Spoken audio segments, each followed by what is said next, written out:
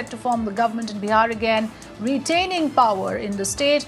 Will Nitish Kumar then become the chief minister for a fourth term? Those questions need to be addressed, but more importantly, we also need to take a closer look at the breakup of the parties and how they have performed within the alliance. That's the, that's where the big story lies because NDA has indeed managed to retain Bihar, crossing the magic figure of 122 to secure 125 out of the 243 total seats.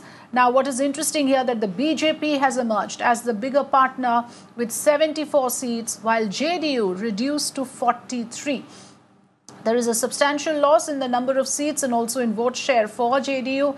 And who is responsible for that? We'll look into that question over the next half an hour. We'll also talk about uh, the important updates coming in. The BJP leaders are likely to have a press conference at 4 p.m.